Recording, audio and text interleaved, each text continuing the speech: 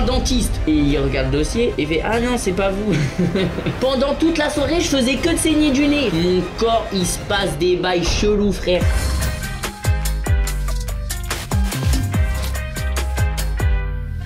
En vrai de vrai les gars, vous savez que j'ai quand même douillé. hein. Je vais vous expliquer un petit peu comment ça s'est passé pour moi ces derniers temps. Vous avez vu un petit peu sur Insta comment ça s'est passé, etc. Seum, depuis ce matin, mes gencives elles saignent et en fait, je viens d'aller voir, il va falloir que je me fasse retirer les dents de sagesse. Les quatre, les quatre dents de sagesse, frère. Regardez, genre mes dents, au lieu de pousser comme ça, mes dents de sagesse, elles poussent comme ça, frère. Théma. Hein C'est pas normal, elle se prépare à charger les autres dents. Déjà moi j'étais méga stressé parce qu'en fait j'ai jamais fait d'opération et tout. J'ai toujours eu la chance d'être en bonne santé frère, j'ai jamais eu de problème. Là les gars, opération dents de sagesse. Déjà, je savais que c'est un truc qui faisait un peu flipper, t'as vu? On a déjà tous vu des photos de gens qui avaient les joues toutes gonflées avec les dents de sagesse. Il y a beaucoup de monde qui a fait cette opération et tout le monde est en mode waouh gros tu vas douiller, tu vas voir frère c'est chaud, pendant deux semaines tu pourras plus rien manger. Donc euh, t'as vu déjà ça met dans une mauvaise ambiance. Bref, je prends rendez-vous chez le médecin pour les dents de sagesse et tout, machin. Ça se passe bien, il m'explique, il me dit bon bah voilà, euh, on peut avoir un rendez-vous dans un mois, il va falloir que t'ailles voir euh, une anesthésiste et tout, machin, faut faire plein de trucs, c'est un peu galère. Mais voilà, il fallait que je fasse une radio aussi, parce qu'il y a un nerf à côté des dents de sagesse qui est relié à la sensibilité de la lèvre. Et du coup, si la dent de sagesse est trop proche du nerf, au moment où on enlève la dent de sagesse, peut-être que ça peut foutre la merde, donc euh, fallait faire une radio. Le mec qui me fait la radio, il me dit c'est pour les dents de sagesse, c'est ça? Bah j'ai une vraiment mauvaise nouvelle. Regardez en fait à cet endroit-là c'est le nerf et là c'est la dent de sagesse. Donc en fait le nerf est juste derrière la dent de sagesse. Donc au moment de l'extraction, il faudra faire très attention, machin. Donc déjà là, ça met dans une très mauvaise ambiance. Je vais voir le dentiste. Je lui montre la radio les gars. Il m'a dit quoi pour de vrai? Il m'a dit euh, ah ouais ok euh, le côté droit ça allait. Et par contre il a regardé le côté gauche et il a dit euh, Euh, c'est à vous de voir. Soit on peut décaler l'opération si vous voulez la faire plus tard. Voilà c'est pas obligatoire pour l'instant c'est pas urgent. Dans tous les cas faudra le faire un jour. Et sauf que le nerf et tout ça va être compliqué machin. Mec j'ai été trop stressé frère. J'étais trop dans une ambiance. Je vais perdre la sensibilité de ma lèvre. Moi j'avais le seum. Frère la lèvre c'est trop important. Je sais pas quand tu fais des bisous, quand tu manges, quand tu, enfin voilà t'as vu c'est c'est chiant. Bref moment de l'opération. J'avais jamais vu un truc comme ça frère. Et honnêtement c'est trop stressant. Mais en fait ça allait. J'étais stressé mais en même temps j'étais en mode bon bah c'est comme ça t'as vu. En fait je me dis les dents de sagesse il y a énormément de gens qui le font. Donc je vois pas pourquoi moi je pourrais pas le faire euh, ou ça serait euh, une galère un truc comme ça tu vois. Je- moi je me dis ça. Je me suis rassuré comme ça. Genre vraiment j'- j'arrive dans une clinique les gars. Ils m'ont fait rentrer dans une petite chambre où en mode euh, tu sais je devais attendre. Et il y a une infirmière qui est venue me voir qui m'a dit euh, alors faudra pas prendre votre téléphone machin machin. Aussi il faudra que vous vous changiez. Frère ils m'ont donné des vêtements frère c'était n'importe quoi. Été habillé avec une robe frère vraiment tard l'hôpital. Du coup voilà je me change. Ils me disent bon bah voilà ça va être à votre tour et tout. J'étais carrément en capacité de marcher. Mais non ils m'ont mis dans un brancard gros. Ils m'ont dit bah c'est bon allongez-vous dedans et tout. Et j'étais allongé comme ça dans mon brancard tout nu sous ma petite robe euh, ma petite robe là avec mon petit slip. Après ils m'ont mis un truc je sais plus comment ça s'appelle. Ça s'appelle cacoca je sais plus frère. Un cathéter voilà un cathéter pour faire les perfusions etc. Frère ils m'ont mis un cathéter ici. Je déteste ça frère parce que c'est un truc en fait tu sais que c'est relié à tes veines. Je sais pas comment vous expliquer. Moi je suis un peu phobique de ça. Pas trop tu vois. Genre euh, je m'en suis bien sorti. Dès qu'il y a un truc qui est relié à mon sang, à mes veines, un truc comme, qui a un truc qui est pas naturel, je déteste. En plus les gars à côté de moi, et ça c'est un truc qui m'a fait déstresser. Parce que t'as vu moi je venais pour opération des dents de sagesse. Sauf que j'étais dans un espèce d'hôpital où il y avait euh, du monde tu vois. Le mec à côté de moi les gars, c'est pas, il est venu parce qu'il avait pris un coup de couteau. Même que le, chirurgien il a cru que c'était moi. Le chirurgien au début il vient me voir, il dit euh, bah alors qu'est-ce qui s'est passé Euh, Vous avez eu une agression là pour prendre un coup de couteau et tout? Du coup moi je le regarde un peu chelou tu vois. euh, je suis en mode je comprends pas. Et il regarde le dossier et fait ah non c'est pas vous.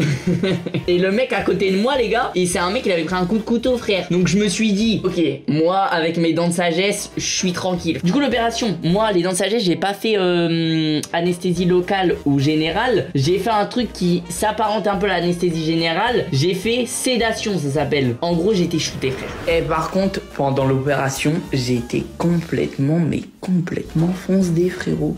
J'étais loin sa mère parce que j'ai pas fait anesthésie générale ni locale, j'ai fait euh, sédation.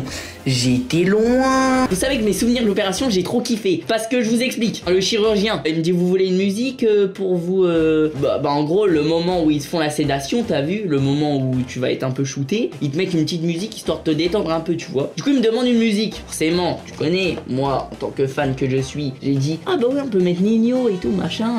Donc, lui, il est en mode Nino, machin, c'est quoi ça? Hop, il tape sur Spotify, Nino. Le son, euh, j'ai fait. C'est bien, j'ai fait Je dis réfé Bah oui, frère, c'est bon, mais réfé, c'est une dinguerie. Donc là, j'entends la musique Nino qui part, et là, je sens mon corps, il se passe des bails chelous, frère. J'étais complètement perdu, frère. J'étais dans l'espace, mais c'était trop bien. Mais par contre, c'était n'importe quoi. Parce que vraiment, je comprenais rien à ma vie. J'entendais que ça parlait tout, machin. Mais en vrai, j'ai quasi aucun souvenir. J'ai l'impression d'avoir dormi, t'as vu Vers la fin de l'opération, j'ai commencé à aller un peu mieux, tu vois, reprendre mes esprits. Et même que je m'étais fait la réflexion, tu sais, j'étais en train de me faire opérer encore. Et j'étais en mode, attends, je commence à recomprendre ce qui se passe. Est-ce que ça veut dire que je vais ressentir la douleur? Et là, j'ai vu le chirurgien, il a mis ça, il a mis sa pince dans ma bouche. Je sentais rien du tout, frère. J'entendais euh, 6.3 single d'or. J'ai mon joujou à bord.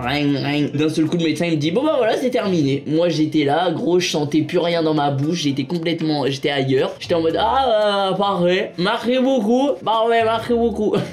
Et sauf qu'après, oh mais il y a eu plein de galères, c'est vrai. Du coup, euh, au final, j'ai passé une semaine à ne rien faire avec Elsa, frère. J'étais bien. Euh, franchement, merci Elsa. Elle prenait soin de moi. J'étais au petit soin, les gars. J'étais dans le canapé avec mes poches de glace. Elsa me faisait des soupes et tout. En vrai, heureusement qu'il y avait Elsa. Je vous jure qu'elle a carré. Les amis, on vient de rentrer. Ça a un petit peu gonflé, pas trop. Surtout ma lèvre. En fait, je sais pas comment vous expliquer ma lèvre. Là, j'arrive pas à la bouger et elle est à la triplé de volume, j'ai l'impression. Regardez, imaginez, j'essaye de faire un, une bouche en cul poule.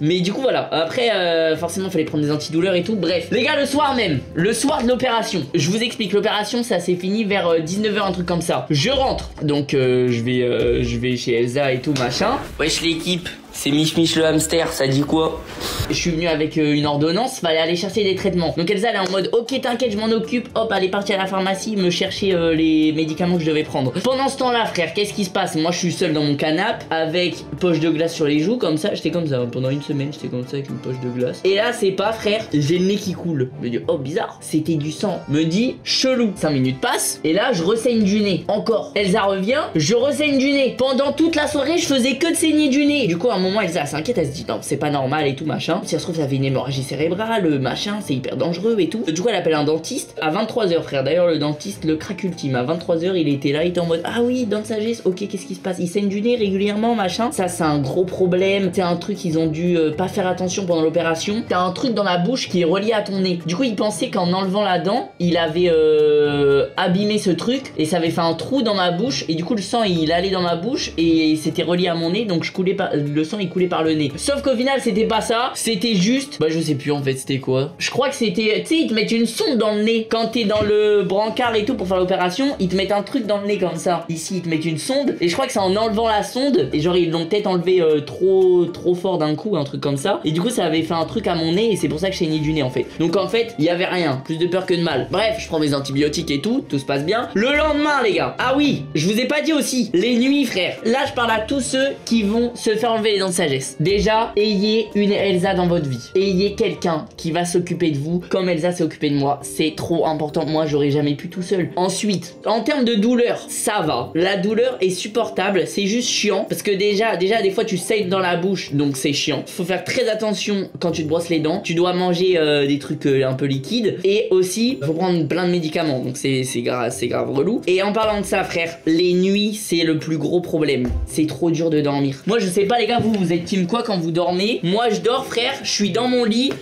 Là, j'ai l'oreiller là et je suis comme ça dans l'oreiller. T'as vu ou pas Donc moi, je suis team. Je dors sur le ventre, la gueule dans l'oreiller. Après, je bouge partout. Sauf que là, je devais dormir comme un robot. Tu sais, je devais dormir sur le dos comme ça, frère.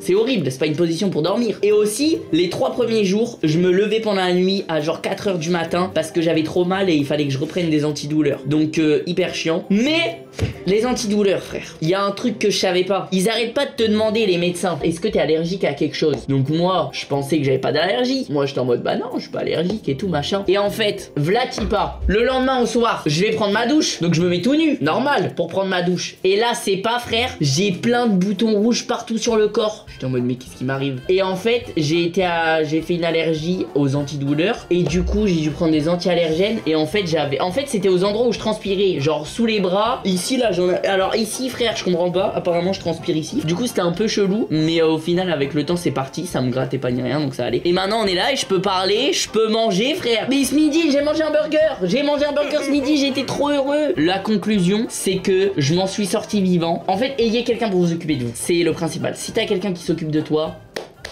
t'es bien. Après moi j'ai eu de la chance parce que des fois tu peux faire des infections et tout machin. Mais si tu fais attention, que tu fais bien ce que le médecin t'a dit, normalement tu fais pas d'infection.